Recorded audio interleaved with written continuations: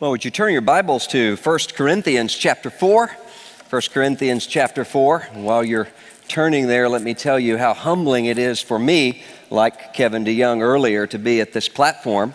In 1995, I was a young 20 something uh, minister of the gospel in my first church, and I was defeated and discouraged. I saw things I never thought I would see. I heard things I never thought I would hear. I had to deal with issues I never expected to deal with. And I was pouty and whiny and self pitying. And I was at the point of just walking away from ministry in the church. And my wife Maria and I took a weekend trip to Memphis for a conference where John Piper was speaking. And honestly, at that point, I was so spiritually empty that it was an excuse for us just to get away uh, from our setting for a couple of days. And while we were there, I kept thinking through what's an, what's an exit strategy for me to get away from all this carnality and all of this stuff that I'm having to deal with. And John Piper preached on providence and the cross. And in the middle of that message, with tears streaming down my face, I turned to my wife and said, We can do this by God's power and by God's grace. And that message that day, the Lord used to pierce through something weak and something sinful in my own heart, and I would not be in ministry if it were not for that. Maybe some of you in here who are defeated and discouraged, and some of you are growing cynical about the church. And if so, I pray that this conference has a similar effect by the Spirit on your life. 1 Corinthians chapter 4, I'd like for us to begin reading with verse 14 and read an extended passage of Scripture. not going to have a detailed exposition of this passage. There is so much that could be said. One could preach for weeks and weeks and months on this long section of Scripture that we're about to read. But beginning with 1 Corinthians chapter 4, knowing that these words were breathed out by the Spirit of Christ, the apostles say, so they come to us this evening with the exact same authority as if our Lord Jesus were standing here speaking these words with his mouth physically. Let's stand in reverence for the word of Christ.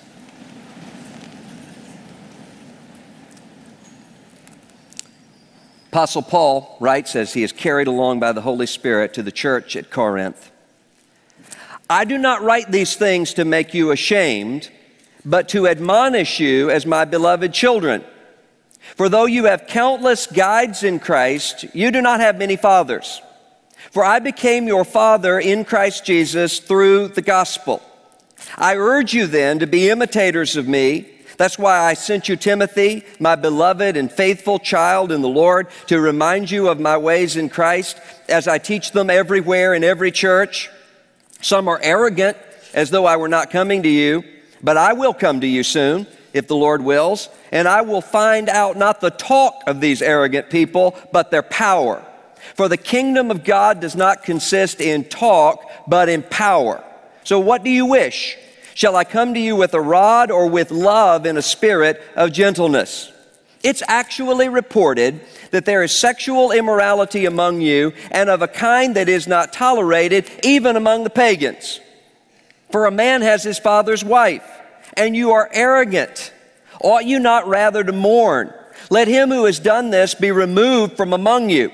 For though absent in body, I am present in spirit, and as if present, I have already pronounced judgment on the one who did such a thing. So when you are assembled in the name of the Lord Jesus, and my spirit is present with the power of our Lord Jesus, you are to deliver this man to Satan for the destruction of the flesh, so that his spirit may be saved in the day of the Lord. Your boasting is not good. Do you not know that a little leaven leavens the whole lump? So cleanse out the old leaven that you may be a new lump as you really are unleavened. For Christ, our Passover lamb, has been sacrificed. Let us therefore celebrate the festival not with the old leaven, the leaven of malice and of evil, but with the unleavened bread of sincerity and truth.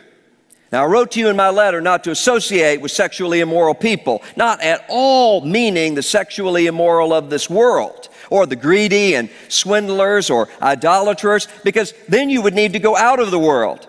But now I am writing to you not to associate with anyone who bears the name of brother if he is guilty of sexual immorality or greed or is an idolater, a reviler, a drunkard, or swindler, not even to eat with such a one. For what have I to do with judging outsiders? Is it not those inside the church whom you are to judge? God judges those outside. Purge the evil man from among you.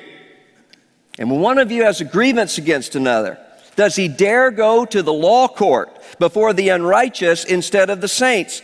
Or do you not know that the saints will judge the world? And if the world is to be judged by you, are you incompetent to try trivial cases? Do you not know that we are to judge angels? How much more then matters pertaining to this life? So if you have such cases, why do you lay them before those who have no standing in the church? I say this to your shame. Can it be that there is no one among you wise enough to settle a dispute between the brothers? But brother goes to law against brother, and that before unbelievers? To have lawsuits at all with one another is already a defeat for you. Why not rather suffer wrong? Why not rather be defrauded? But you yourselves wrong and defraud even your own brothers. Don't you know that the unrighteous will not inherit the kingdom of God? Do not be deceived. Neither the sexually immoral, nor idolaters, nor adulterers, nor men who practice homosexuality, nor thieves, nor the greedy, nor drunkards, nor revilers, nor swindlers will inherit the kingdom of God. And such were some of you, but you were washed, you were sanctified, you were justified in the name of the Lord Jesus Christ and by the Spirit of our God. Let's pray. Holy Father, we ask right now that you would silence any spirit in this place that exalts itself above or beside the name of Jesus of Nazareth. Father, we pray that your word would go forward, that your word would cut through any opposition in our affections, in our wills, in our minds to the gospel that you have given to us, to the faith that you have handed down to us. And Father, we pray that by our time together, looking at your word with one another, that you would equip us to encourage one another and to build up one another for the sake of the advance of your church. And we ask this to the glory of the name of Jesus and in his name alone. Amen. You may be seated.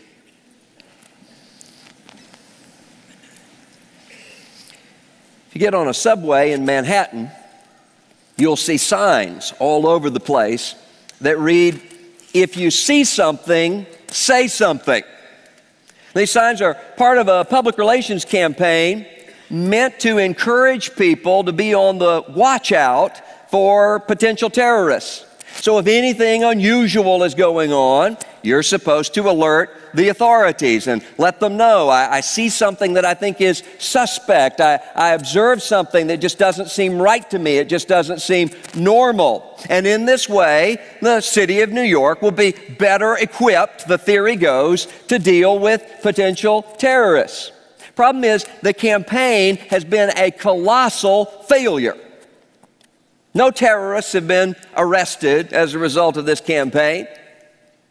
And in last week's New York Magazine, there were several reasons given for that. And one of them given by the authorities responsible is you know, we tell people if you see something weird, let us know, but there's just too much weird stuff going on in New York City. I mean, what are you supposed to report when you're on a subway where there may be someone who has wires coming out of his coat and it's an art project somewhere? You see someone who seems inebriated or somebody who seems to be on drugs. Who's inebriated and on drugs? You see people who are seem suspicious and seem out of place, and they're part of some bizarre and eclectic cult that has just come to the city. No one can call in and say, I see something that doesn't look normal if you don't know what normal is supposed to look like. That's not only true on the subway in New York City. Part of the obstacle that you and I face when it comes to holiness, when it comes to being sanctified, is that we don't know what normal looks like. We live in a fallen universe. We have grown up in a fallen universe. We live, as Isaiah tells us, among a people of unclean lips, even as we are a people of unclean lips. And in the middle of all of that, what can seem to be normal to me can simply be my own pattern of sin. What seems to be regular and the default simply can be the fact that I am living around people who have similar sorts of slaveries and bondages to sin and to Satan and to the curse and to death. And what the gospel of Jesus Christ does is to break through this bizarre, unusual, unnatural kind of life that we are living with a new normal that Jesus defines as the kingdom of God. And this kingdom, Jesus says to his apostles, isn't just some generic category, and it isn't just something that waits for us in the next thousand or million or billion or trillion years. This kingdom, Jesus says, shows up in the assemblies.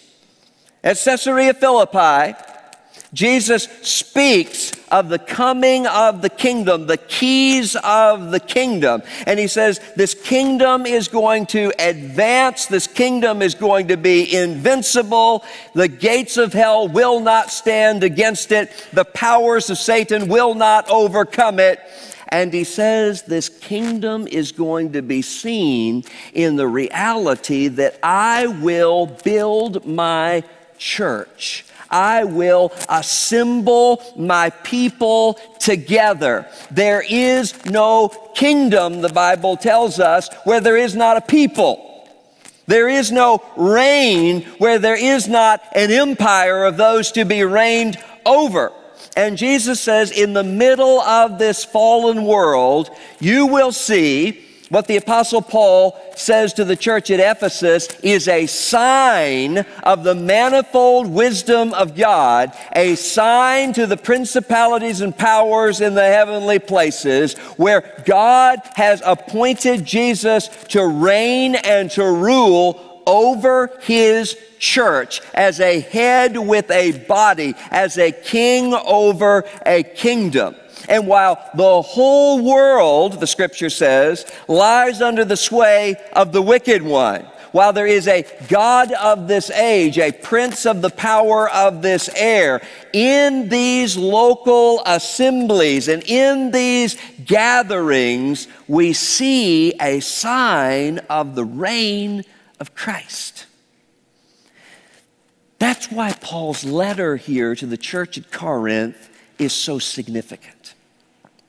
He is talking to a group of people who are living out the beginning stages of the reality that Jesus promised at Caesarea Philippi. The building and the gathering of this church, of this kingdom colony. And what is happening here is of absolute significance to our sanctification. Our problem typically is that we think of sanctification as primarily an individual thing. How often do I read my Bible? How often do I pray? How often do I meditate on the things of God? How often do I sing and give praise to God? And all of those things are significant and all of those things are important. But we too often neglect that all of that is only true because we are part of the body of Christ. We are part of His church. And the theme of this meeting is so critically important act the miracle, God's work, and our work. Not just my work, not just your work, but our work in the sanctification process. I want you to notice several things about what Paul is pointing out here to this church at Corinth. The first is the, the role of proclamation in the corporate nature of sanctification. Paul writes to this church at Corinth, a church that is troubled and a church that has people within it who are talking, he says, arrogantly. They are acting as though they are already kings. And he says, I have demonstrated who I am. I have demonstrated the apostleship that I carry. I have demonstrated the commission that I have from the Lord Jesus Christ. I have sent to you Timothy. I have sent to you the word of the gospel. I have shown you my life. I've, I've, I've given you every reason and every way to imitate it. He says, but there are those who are still speaking with arrogance. There are those who are still opposing this kind of apostolic authority. And he says, I want to see what they've got. I'm going to be coming to you very soon, and we will see these people who are talking if what they have is just talk. Because the kingdom of God is not a matter of talk, the kingdom of God is a matter of power. Now, you look at that, and it, it sounds at first blush as though Paul is threatening some kind of physical encounter. We're going to see whether or not you have talk or whether you have power. As though the Apostle Paul is going to show up and say, okay, you've got your arrogant talk, deal with my heat ray vision deal with my levitating power to swoop you up off your chairs and send you out into the streets. But no, no, no, no.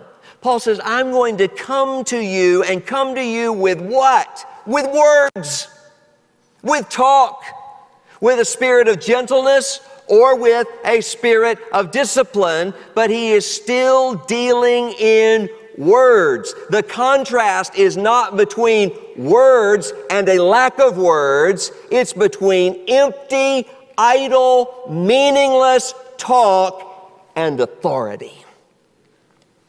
I will come to you with power. And what is the power? The power is the proclamation that is coming bearing the authority and the spirit and the presence of Christ.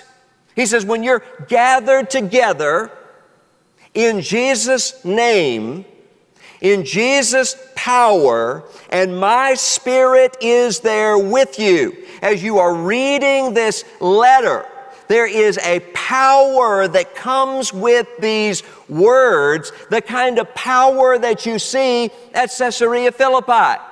Jesus turns to his disciples in Matthew 16 and says, Who do people say that I am? That's a very low threshold kind of question, a very non threatening sort of question. You just deal with the poll data there. Well, some people say John the Baptist, and some people say Elijah. These are just words. They're, they're going out there and they're not doing anything, they're not affecting anything. But Jesus turns when Simon Peter, by the Spirit, confesses, You are the Christ, the Son of the living God. Jesus turns to this man, Simon the fisherman, and names him. Now that is authority. I get people's names wrong a lot, call them by the wrong name sometimes when I forget, sometimes even my own children.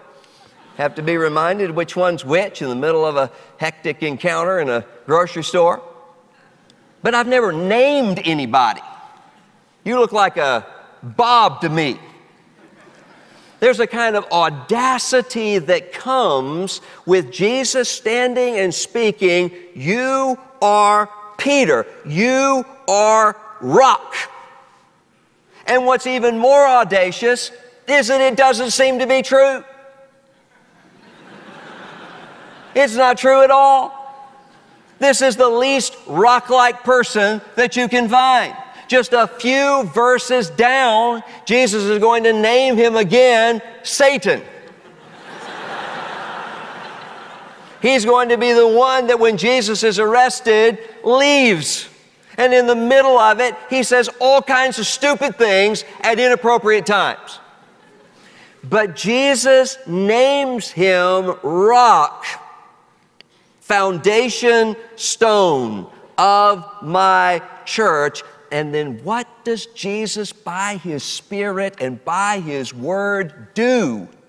He makes him live up to his name. Peter, do you love me? Feed my sheep. The voice of Jesus sent out and working in the life of Peter takes a name that seems as ridiculous as naming an elderly, barren man, father of many nations, but he makes the name true by the power of his transforming word. Paul assumes that the apostolic authority that he carries that the proclamation of this Spirit inspired word brings with it the authority of Jesus Himself. And I don't know about you, but maybe you have relatives who have a lot of opinions about world events. Maybe you have some of the extended family that I have that sit in front of a big screen Fox News or a big screen MSNBC and they, they see what's going on in the world. And a lot of times they have really good insight on what's going on. But every once in a while, I'll run into a really elderly great aunt in my family, and she'll have crazy opinions based upon some conspiracy theory that she's seen on television. And she'll say, you know what I think we need to do is just bomb Iran and Syria and Canada. We don't know what they're going to do. I don't argue with her. Sit and listen to Aunt Flossie talk about world events. It doesn't matter. Aunt Flossie could even go, one would suppose, to the United Nations and stand outside with a bullhorn, yell, We ought to bomb Iran and Syria and Canada. And people would just say, ah, There's a crazy old lady out there, let's go on in. But imagine if Aunt Flossie is the United States ambassador to the United Nations. Now, when she stands up and says, Hey, you know what I'm thinking?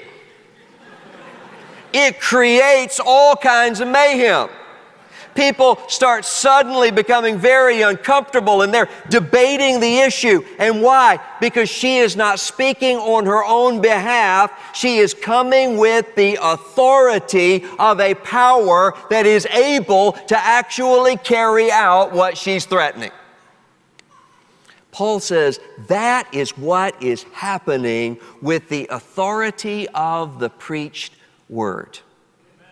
When you and I gather together and hear the Word of God as it is rightly preached, we are hearing an ambassadorial plea that has been sent down from our Lord Jesus himself so that as Paul says in 2 Corinthians chapter 5 we are speaking pleading with you as though Christ himself were pleading through us be reconciled to God when you are rightly proclaiming the Word of God, there ought to be a Northern Galilean accent in there. People ought to hear a familiar voice that ver- first called them out of darkness. And whenever Jesus begins speaking, everywhere that we see Jesus speak, things start happening. Demons start shrieking. They see that their power is being broken. That is what is happening when we gather together and hear the word preached. That's what happens when we admonish one another and teach one another. That's what's happening when we sing and teach one another with psalms and hymns and spiritual songs. That's not just information that is being downloaded, that's expository exorcism the power of Jesus' voice residing in his church under the authority of the Word of God and reflecting upon the authority of the Word of God breaks through those patterns of deception that keep us from seeing the glory of the light of God reflected in the face of Jesus Christ.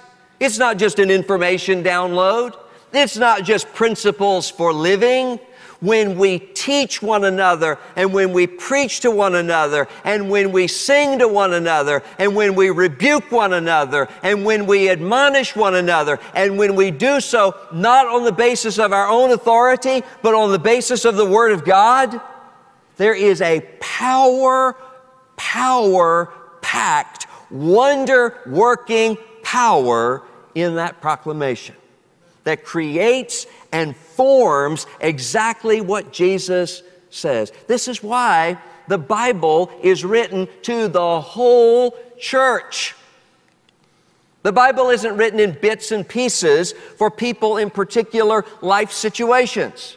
Sometimes that single woman who has never been married and never will be married, doesn't sense any calling to be married, can come to our congregation and say, eh, I don't really feel comfortable here. Why do I need to be in a sermon on marriage? Because Ephesians chapter 5 isn't just written to the married couples at the church at Ephesus. It's written to the church at Ephesus and to the whole church because you, single woman in this congregation, are accountable not only for your own life and your own sanctification, but to teach and to admonish and to hold accountable those marriages within the church. Why do I need a sermon series on parenting? When I'm an 88 year old man with no children. I've, I've been widowed for years. There's no prospect of any children out there. Because you are to hold accountable and to teach and to encourage and to rebuke the whole church when it comes to parenting. You are a kingdom of priests under the proclamation of the Word of God. That creates and brings about sanctification and holiness. But notice also, it's not just proclamation, it's also discipline. Paul immediately, after he talks about this power in contrast to the talk, about his coming behind his words, starts talking about a situation of scandal. He says, There is a man in your midst who is unrepentantly sinning against God, and the problem is that you're doing nothing he begins to speak to them about that kingdom authority and that kingdom responsibility for discipline. Exactly what Jesus said when he said at Caesarea Philippi, I am giving to you the keys of the kingdom. Now, one of the things that irritates me when it comes to the way we talk, and I say we, I mean me as well as anybody else, is it typically when we say church discipline, he's under church discipline, we mean excommunication. Someone who is under church discipline is someone who has been voted out of the fellowship of the church. We are all under church discipline. Discipline is not simply excommunication. As a matter of fact, excommunication is actually the end of church discipline. I have now been handed over to Satan. Discipline is not just in Scripture that final phase of a lack of repentance. Discipline is every step along the way, starting with the definition of who's who. He says, There is sexual immorality among you. Who's you? The church of God at Corinth, called out and sanctified by the Spirit and by the blood of Christ. It is the authority that Jesus has given to his church, dependent and derivative upon his word, to mark out and to identify who are those who are qualified to be called brother and called sister based upon the criteria of repentance toward God and faith in our Lord Jesus Christ. When the church baptizes and marks out its boundaries, when the church receives into its membership, into its structure of accountability, that church is defining the boundaries of discipline. This is not the world out there in the chaotic anarchy that is the rule of Satan. This is the church. This is where Jesus right now is actively ruling, and we, on the basis of what Jesus has said to us, declare, You are my brother. You are my sister. You have been received by Christ. Now, I don't have personal authority to define that. And we don't have individual congregational authority to define that. The King of the kingdom has defined who are those who are received by God. We, when we speak rightly and when we speak on the basis of what Jesus has given us, we are declaring in the voice of Jesus, You are one of the brothers. You are one of the sisters. That is a powerful, powerful responsibility. This time of year, an election year, Christians can become so weird. They get so panicky. They get so fretful. They get so angry. They go on Facebook and have all kinds of conspiracy theories about whatever candidate they don't support, and they, they have all sorts of debates with people that they don't agree with, and, and they become so fretful as an election approaches. And it always is every four years, and you can mark this down no matter what. I can tell you, four years from now in 2016, the Christian community will say, This is the most important election that has happened in our lifetimes. No doubt. Every four years we say that. And that, that is important. Those things are significant. But your vote on receiving a new member into your congregation is more significant in the long term than your vote for who will be the next president of the United States. When the congregation says, we receive you as brother. And when the congregation refuses to deal with an issue that would seem to show a lack of repentance, that congregation is speaking for Jesus in a place that congregation has no authority and no mandate to speak.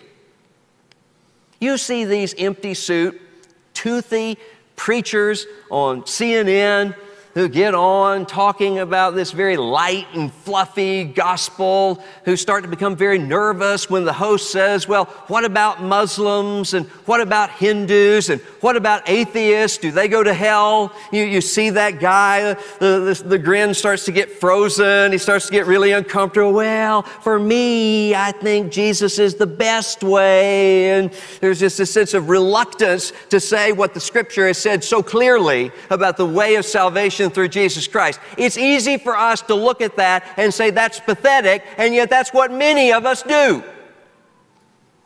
We have people in our congregations that we are saying, by the fact that we list them as brother and sister and we treat them as brother and sister without a life of faith and of gathering together and of repenting of sin, we are saying, Jesus says, You are our brother. When you have no warrant to say that, you might as well go door to door, simply saying to everyone who opens the door, I'll see you in heaven the membership of the church and the accountability of the church is the discipline of the church. Now, you only have the authority, again, to discipline where Jesus has given that authority. in His Word. We don't discipline one another and excommunicate one another because we disagree over homeschooling or public schooling. We don't excommunicate one another and discipline one another because we differ on whether or not you ought to celebrate Halloween. But where the scripture says this is a lack of repentance and a lack of obedience, and Jesus says those who practice such things will not inherit the kingdom of God, what Paul says happens is not just when that unrepentant person going through all the process of be reconciled, repent, be reconciled, repent, when that person refuses to repent and the church hands that person over to Satan for the destruction of the flesh. That is not just clearing out a membership roll. That is not punishing that person and saying, we don't want your kind around here. That is the voice of Jesus saying, I am turning you over to the power of Satan. If he turns, Jesus says, you have received your brother. Why? My sheep hear my voice and they follow me. Only difference between Peter weeping in the arms of Jesus and Judas tangled up in his own intestines in a potter's field is the kind of repentance the voice of Jesus brings. The discipline of the congregation spurs us to holiness, not only because we deal with lack of repentance and lack of faith among us, but also because this discipline and this accountability changes us. Notice what Paul says you ought to be mourning. You ought to be crying. You are arrogant that you don't even notice this. And why don't you notice this? Because you don't know where you are. He says, I don't want you to be with the swindlers and the sexually immoral people, and I'm not talking about those out in the world. I'm not trying to have some kind of uh, premature rapture here. He says, I am talking about those within the accountability of the church. We tend to get that completely reversed. Let's express our outrage with everything that's going on out there and we ignore what is happening among us. The discipline and the accountability of the church changes your affections, it changes your mission, it changes the way that you see people, and it drives you toward holiness and it drives you toward love. Why? Because the presence of Jesus is in your midst by His Word and by His Spirit. But notice, is not only proclamation and discipline Paul also turns and starts talking about the economy of the church, the, the structure and the life that is being lived within the church. He says, Your problem is not only that you're tolerating this kind of behavior, the problem is also that you're fighting with one another and you're struggling with one another and you're doing it by taking one another to court. He says this ought to shame you. You ought to be embarrassed about this, these bickerings and these divisions that are between you. It ought to embarrass you, it ought to shame you, and even more so that you're taking it to those who have no standing in the church. Why? Because the gifts that Jesus is giving to the body are not simply or not at all means of personal self actualization. They are given for the building up of the body, and they are a sign of spiritual warfare. That Jesus has taken captivity captive.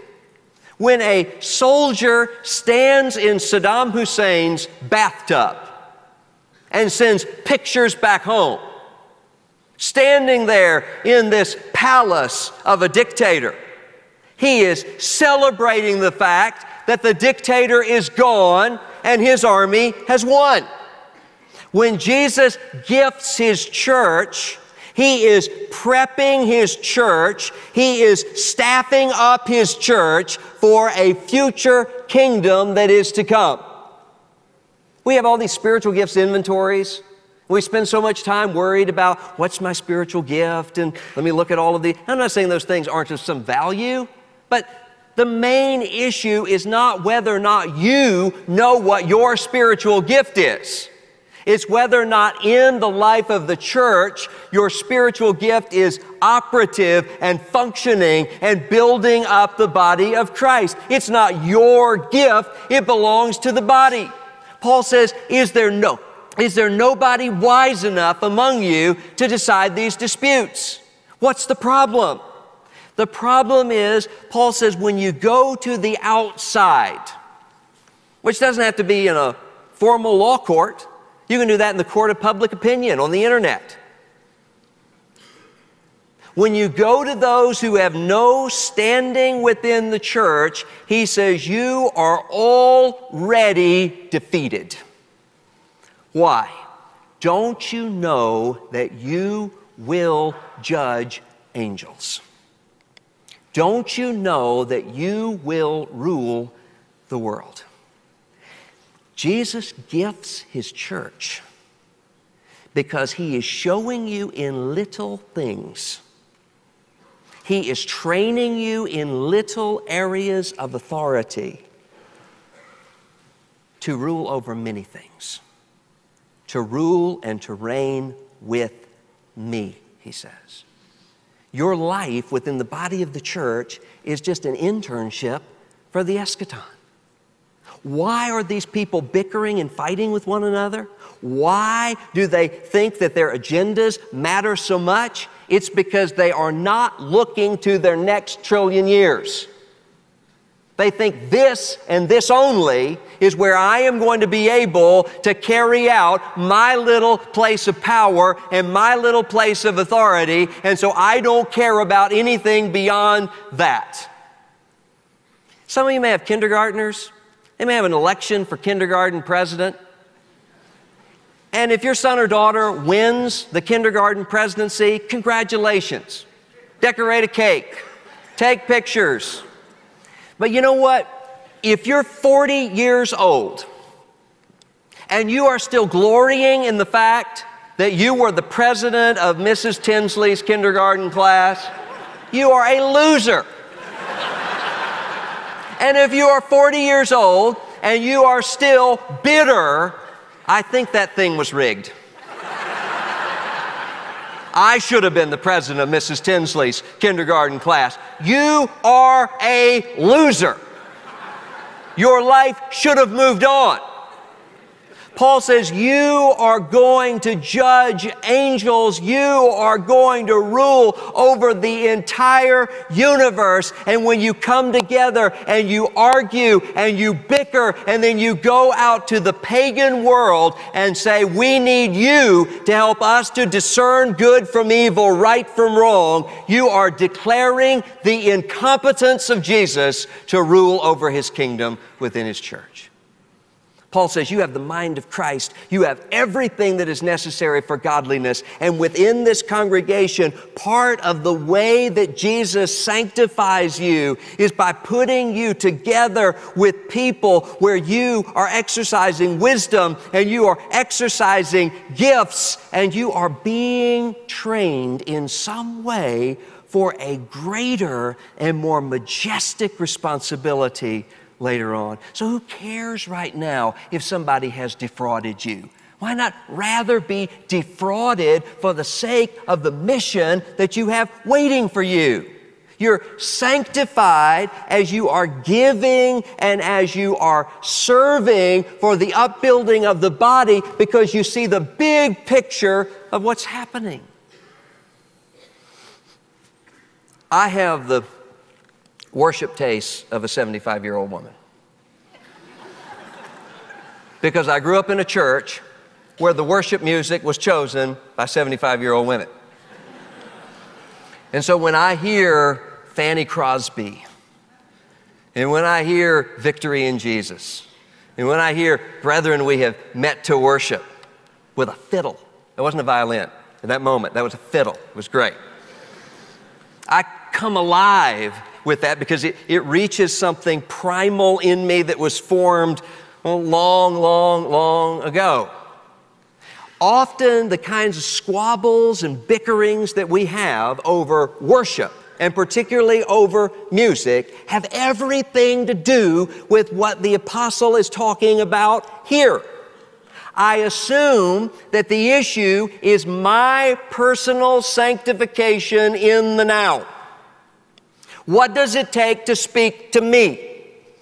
So that I can close my eyes and pretend like it's just me and Jesus in the congregation and have a foretaste of heaven. Problem is, that's not a foretaste of heaven. It's not just you and Jesus. it turns out you don't come to the garden alone, which is a disappointment for me.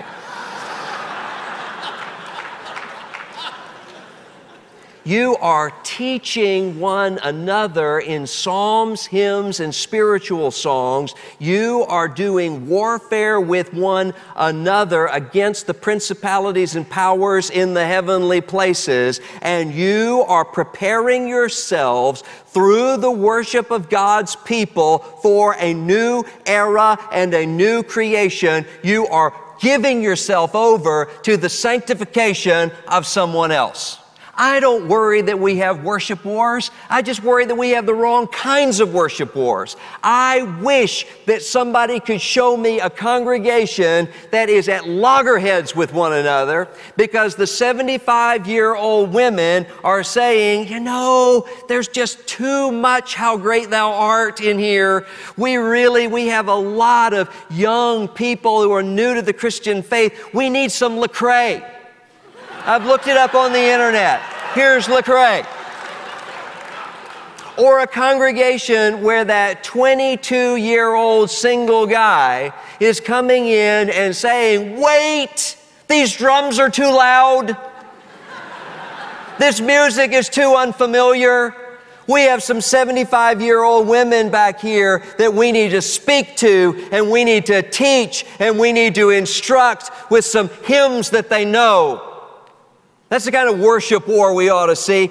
Counting one another is more important than yourself and outdoing one another and showing honor to one another. Why? Because you in this place and in this service and in this moment are being shaped and prepared for something that is far deeper and wider than your hymn set or your praise chorus arrangement. He says, You are being prepared to rule. And then notice finally, there's the corporate aspect of testimony. He says, Don't you know the unrighteous will not inherit the kingdom of God? Columnist David Brooks says that we live in an arena culture. The things that tend to give people meaning are politics and sports. I identify with my political party and my political candidates, and if you say anything about my political party or about my political candidates, you're talking about me.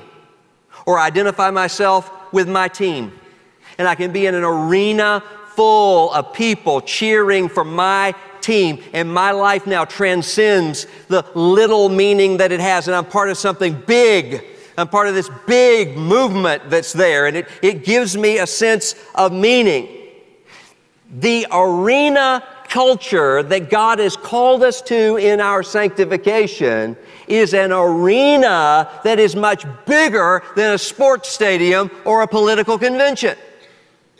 He says, Remember who you are. Don't you know that the unrighteous will not inherit the kingdom of God? The power of Christ together breaks through the deception of the satanic powers. The ways it's easy for me to identify your sin, but in my case, there are always reasons. I don't see it. I am guarded against it.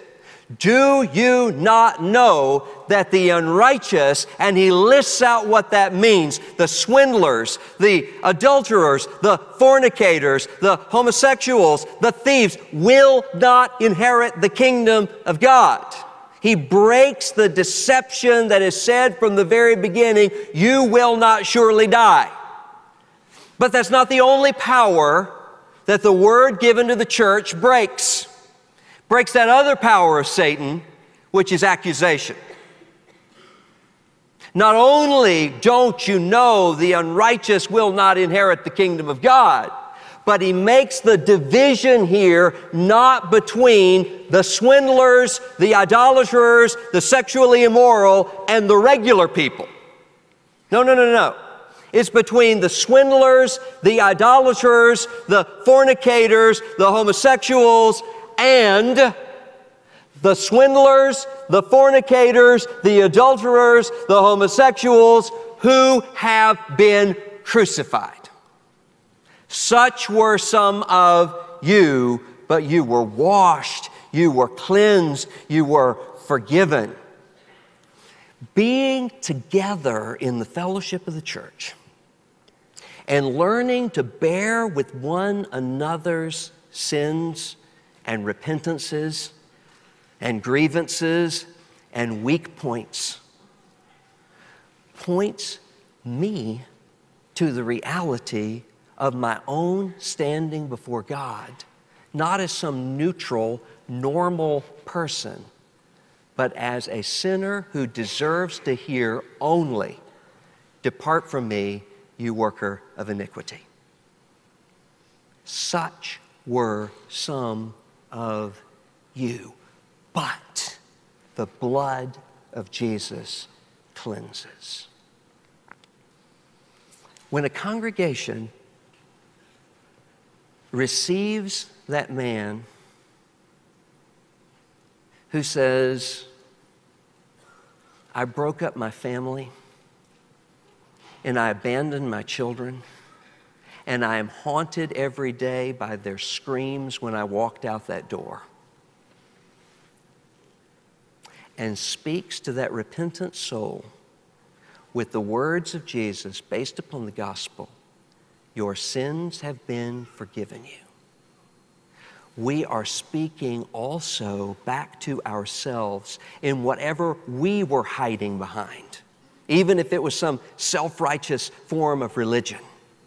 The same blood that cleanses the swindler cleanses the idolater. And the same blood that cleanses the idolater cleanses the fornicator. And the same blood that cleanses the fornicator cleanses the thief. And the same blood that cleanses the thief cleanses the self righteous legalist. And it goes on and on and on and on. Why? Because the gathering of the church together is a sign to the principalities and powers, not that this is a sinless people but that this is a people who can no longer bear accusation because of the reign of Jesus through his crucifixion and through his resurrection from the dead.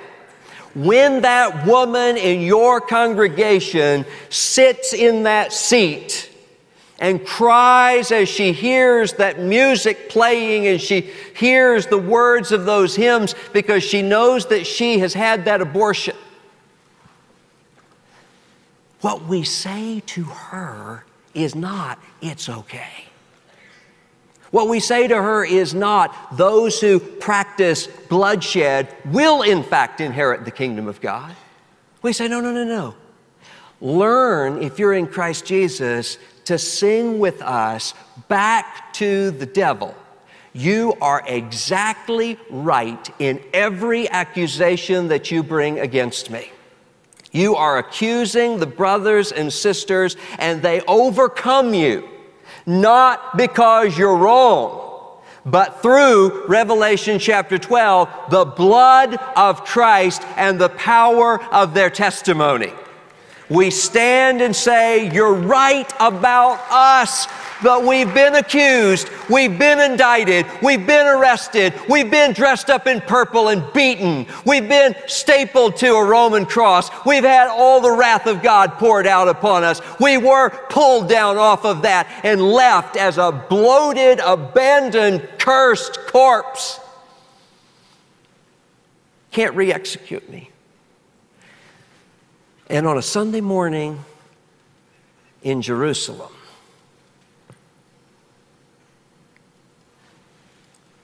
Eyelids that were scabbed over in blood opened up.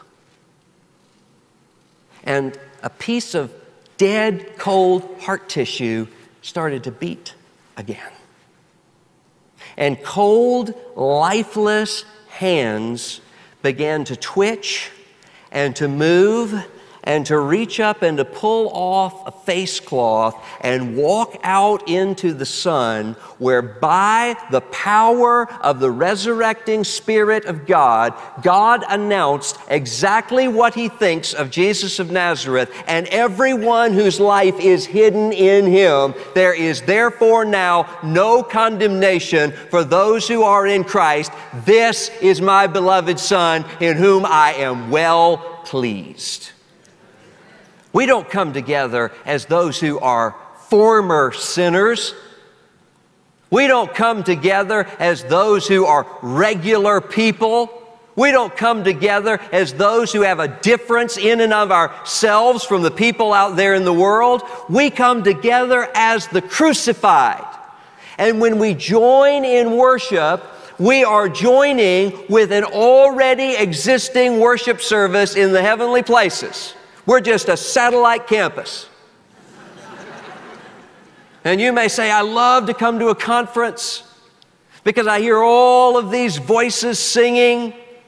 And it's so different from my little, tiny, struggling church plant out there in that storefront building. It's so different from my little, tiny, dying rural church out there where everybody is moved away from.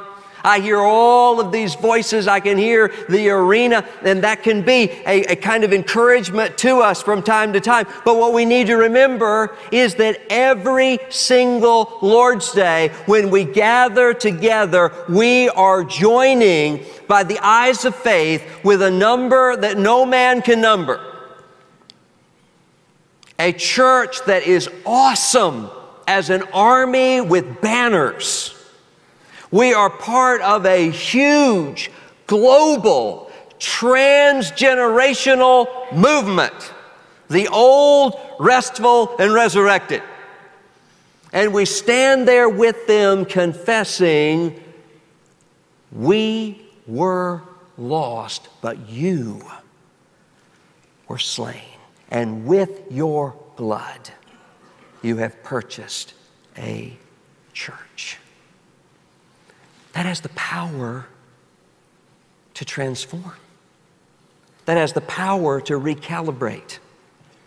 That has the power to correct and to rebuke. Because that is the voice of Christ. And it gives us a way out of our self sufficiency. If Jesus is able to build this church, and the gates of hell cannot stop it, then Jesus is going to build his church. We sit around and wonder where's the next John Piper? Where's the next Billy Graham? Where's the next Charles Spurgeon? Do, are our Sunday schools functioning well enough to produce the next John Piper, the next Billy Graham, the next Charles Spurgeon? I hope so. But the next John Piper might be drunk right now.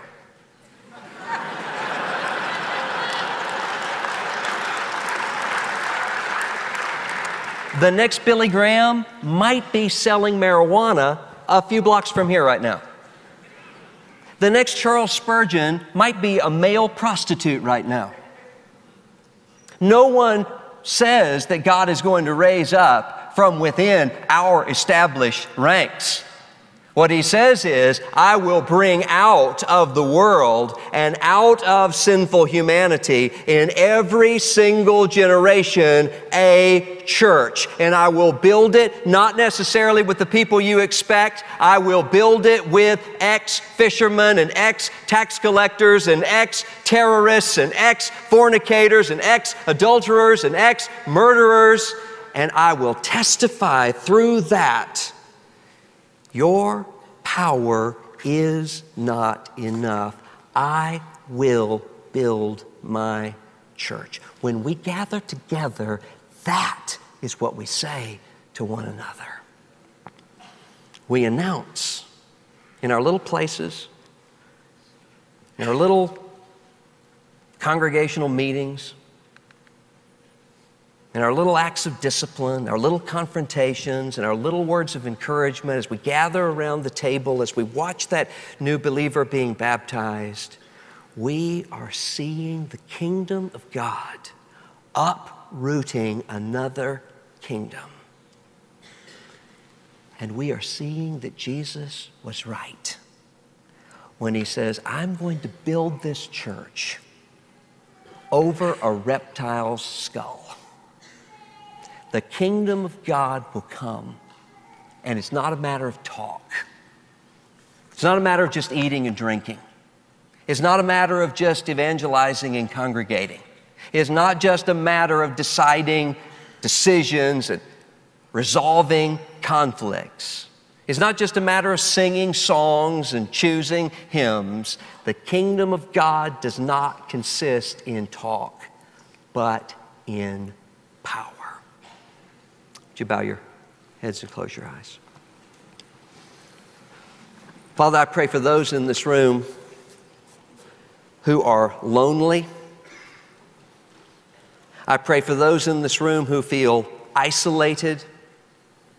I pray, I pray for those in this room who feel cut off and far and distant from you. And I pray, Father, that we would seek you out and we would find you not in our loneliness and not in our individualism and not in our isolatedness but Father, we would come together with our brothers and sisters in your household, in your body, in your colony of the kingdom, and we would see you at work as you speak to us through your word, as you feed us bread and wine, as you order us and gift us and discipline us. Would you prepare us to rule and reign as servant kings and servant queens in a new creation? And we ask this in Jesus' name. Amen.